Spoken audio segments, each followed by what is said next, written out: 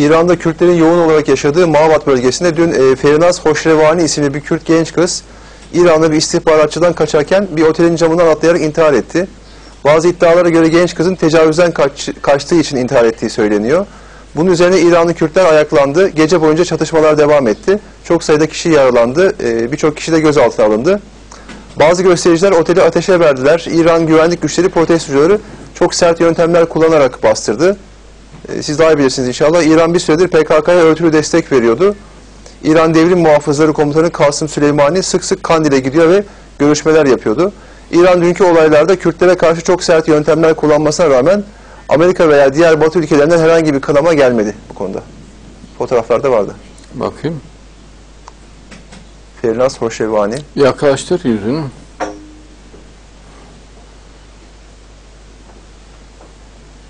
Evet, muhtemelen tecavüze uğramıştır.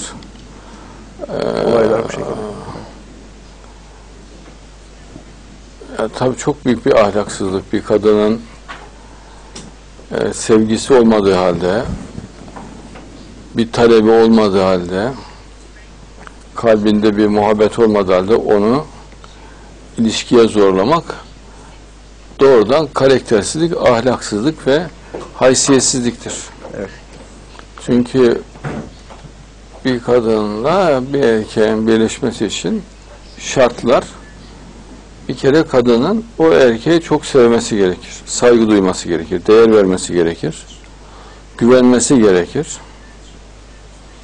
Helal olarak görmesi lazım.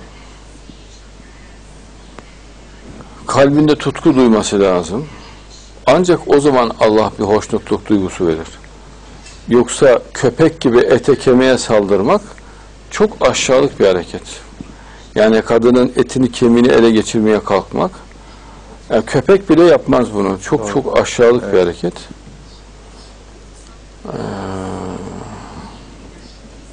kız da güzel hakikaten. Ee, inşallah şehit olmuştur.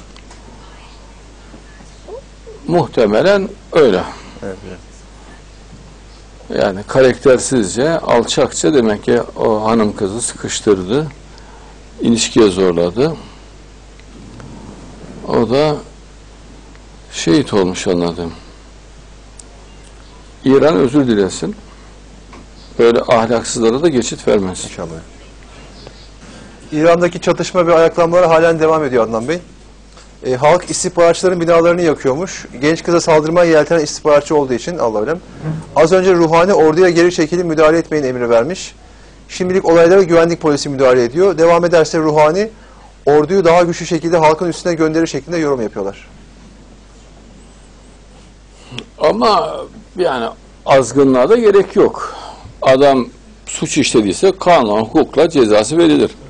Bina yakmanın, oraya buraya saldırmanın, binaları yerle bir etmenin alemi ne yani? Nerede görülmüş böyle bir hukuk?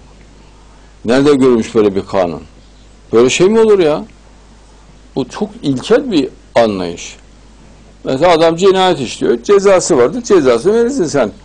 Bütün binaları yıkarak şehri yerle bir, bir- yerle bir ederek böyle bir hukuk sistemi yok.